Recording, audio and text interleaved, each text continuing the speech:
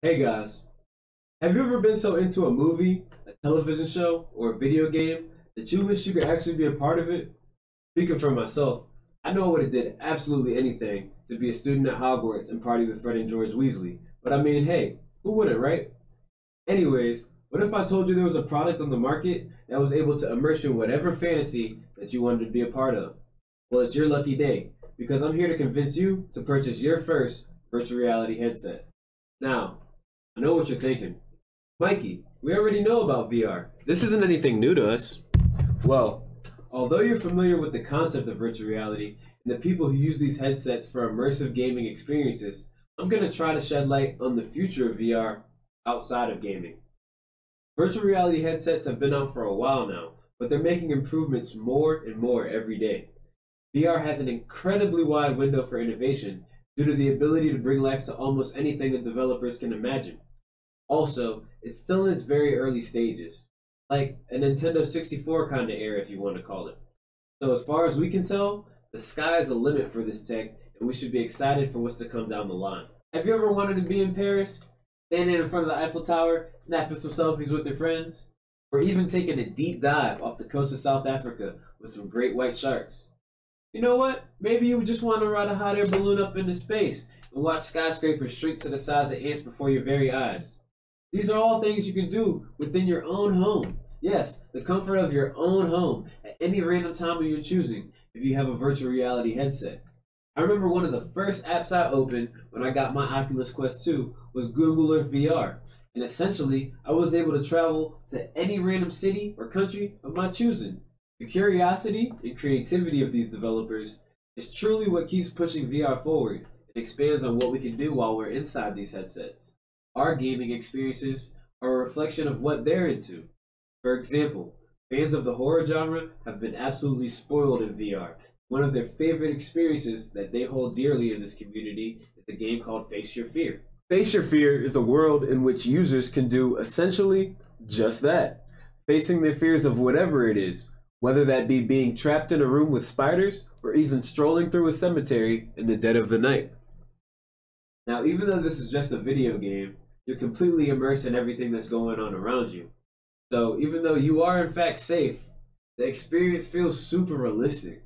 Now, if you're into horror or thrills or just a pure old adrenaline junkie, then VR will give you hours on hours of heart racing experiences to choose from. Well, as I mentioned earlier, VR gives you the opportunity to live through these experiences without actually being there in person. So, this could help someone confront the things that make them uncomfortable. VR therapy isn't even a brand new concept and is already being used today. In an article by Laura Brewer posted to the Dynamic Consultants Group website, she touched on how one therapist used VR to treat alcohol addiction. Now, subject would be able to place themselves in a location like a bar or a party while the therapist will waft scents of alcohol at them. This could sound like torture to anyone out there struggling with alcoholism, but the patient at hand surprisingly said this was an eye opening experience and helped him get over his triggers. Now, when I came across that article, I found it really interesting and truly remarkable that that was even a possibility. But in my opinion, they need to focus on how they can use VR more in a space like that. Pretty cool, right? Something like VR therapy is a cool concept, but it's just one tiny category of what the future of VR has in store for itself. I'd like to bring us to another small niche in the VR community that I think has an interesting future. First, let's go back to that time most of us in the world want to forget about. Yes, people, talking about the year 2020. We all remember when the world got turned upside down by the hard hitting impact of the coronavirus which in turn affected our lives by thrusting us into a virtual based world to maintain and save our economy.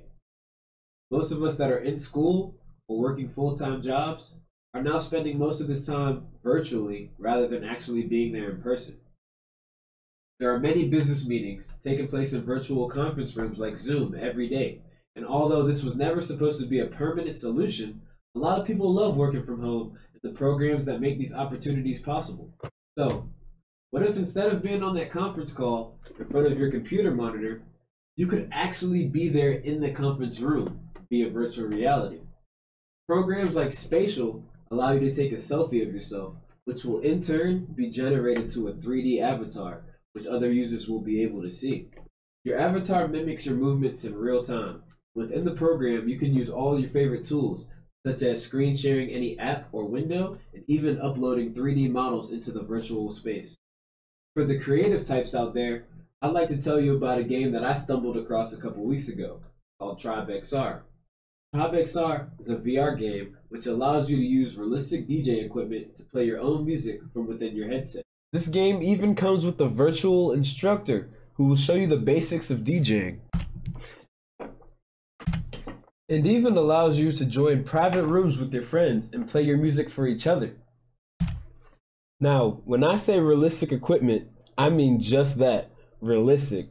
The Pioneer DJ CDJ 3000 is worth over $2,000, and I have no DJ experience whatsoever. So, of course, I would never spend that much money on DJ equipment.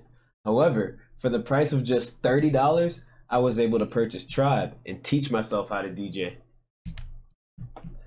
I get tutorials and lessons from inside the game while I use that same professional equipment that I mentioned earlier, which is something I find extremely cool. There's even a game called VR Tuos, which teaches you how to play piano in VR.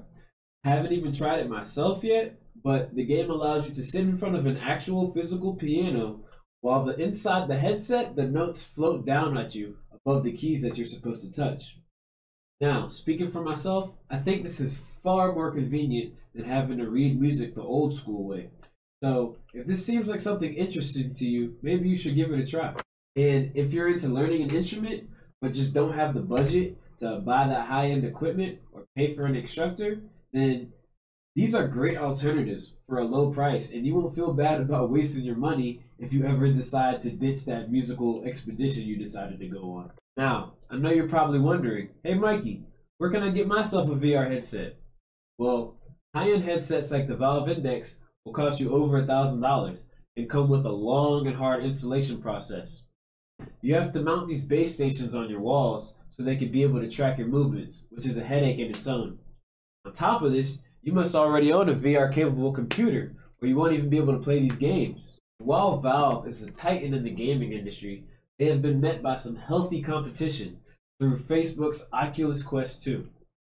The Quest 2 changes the game and innovates VR by being the first standalone headset, meaning you don't need a PC to be able to power it. Oculus also uses a different tracking system to where they don't need those pesky base stations at all. So, in conclusion, whether you're a thrill seeker, looking to show your creative side, or even just love technology, you might be interested in purchasing yourself a VR headset. I myself believe that VR is the future of technology It should be focused on a lot more, especially outside of gaming itself. We are still in the very early stages of virtual reality, and if I let my imagination run wild, I can envision a world in where we don't even need headsets to access VR. It might be integrated into something as small as contact lenses. I know that's a super reach. It wouldn't be possible anytime soon. But let's remember that one of the first high end headsets came out in April of 2016, which was only roughly five years ago. So imagine what VR will be like 20 to 30 years from now.